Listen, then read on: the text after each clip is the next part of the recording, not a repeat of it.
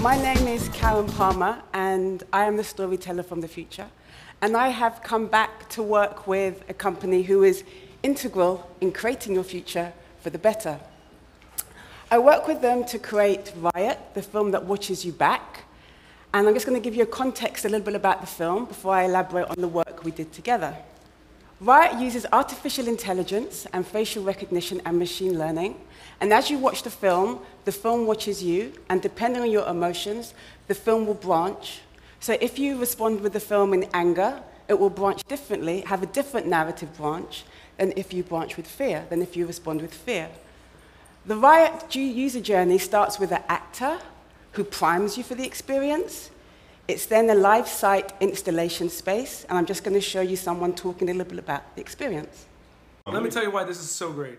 This is just one room. It's less than 100 square feet. Mm-hmm. Yet we're able to use sensory and video, lights, the smells, the textures of this on the ground. It all brings you to the world, and you're completely immersed. Even though we're not in a riot, you're in a riot right here. Not in a riot, in a riot. So you're surrounded by ambisonic sound, and the film is projected, and the webcam watches you back. This is quite an intense experience, and I'm just going to show you some participants. Sometimes it's destructive to the people who are fighting for justice, you know, because we were allowed to only do these things inside our own communities in the Brixtons of the world, your hand started oh, going yeah. in and out like this, then your chest puffed up, then the back yeah. of your neck just like just false. flicker, pulse. I am in like machine mode, like I will do anything to achieve my mission and protect my people. So it was both very uh, powerful and vulnerable. Okay, then why don't I see what's what? Oh, sorry, and then I can always come back. For but it was a form of release. I had me and do watching, being yeah. witness to what was happening. I mean, either way.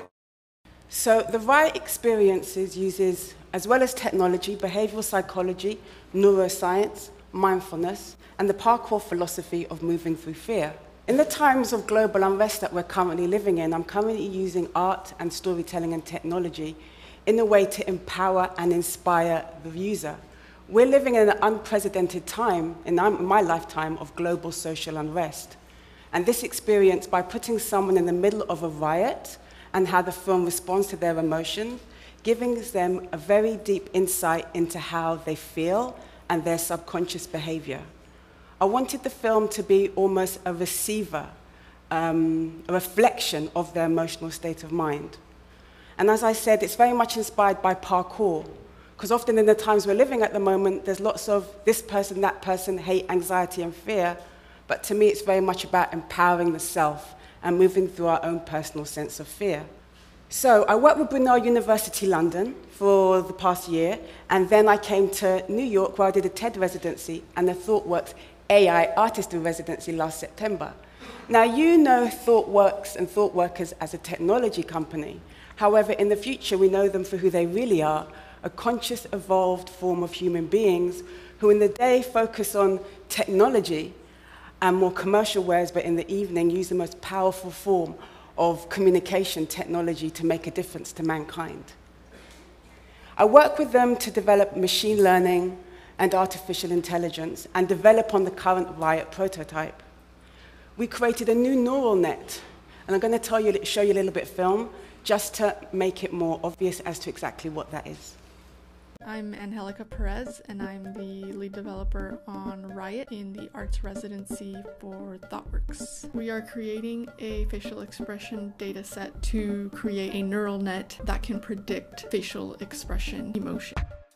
A dataset is a collection of data samples that come with classifications. A neural net is a computer algorithm modeled after the connections in the human brain. And a neural net learns how to perform a task by analyzing examples of that task and learning to replicate them.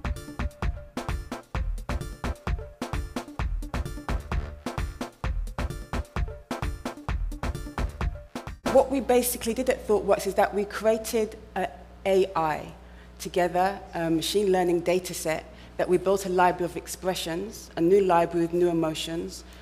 And while through doing that, we became very aware that no AI system is not biased because it's all programmed by a human being and their own, own unique perspective. And we spent a lot of time researching that and looking at examples within the criminal justice system where there's AIs out there which is currently supporting judges to determine lengths of, um, lengths of prison sentences for potential convicts. And these systems don't have any, any policies overriding them because they're private systems. So we did a lot of work into it, and that's why it was very important to be at ThoughtWorks, because not only are they exemplary in what they do, but they have a strong social justice ethos, and they have a strong conscience in what they're doing as well. I also work with behavioral psychologists at NYU University, um, and we looked at behavioral psychology and how when they studied view, observers watching police dash cam footage of police brutality, where their eye tracking went determined their bias or where their empathy lay. So if a cop was attacking somebody, a civilian, and their eye tracking was following the perspective of the cop, they would be more empathetic with the cop. And if their eye tracking was following the person being brutalized, they proved to be more sympathetic with that person. It basically proved to us that people are often looking at different parts of the screen of the same image. And that's why they have two completely different interpretations of the same event. So we realized that through this potential experience that we might be able to influence people's perception through behavioral psychology, artificial intelligence, and facial recognition. Now, I, this might be a bit mind-blowing for some of you, but that is not a bad thing because we're really the next level in what we're doing. And all you really need to understand is that we're here to make a change. As part of that change, we developed an open source. It's very important for us to be democratizing AI and be completely transparent in what we're doing. So we created the Riot system and we created an AI that connects with it. And then we took off the Riot film and we said to the community, would you like the AI? Would you like to have this AI to put in your back pocket? We don't want this to only be accessible to certain institutions or organizations. We're at a time where AI should be available to all. So as I move on to develop the final iteration, I'm really just here to let you know that normally when I do these talks at the end, I do a call for action. But with ThoughtWorks, they've already heard that call. So all I'm going to say is that continue to be a part of what they're doing, because in the future, they're really making a change. Thank you.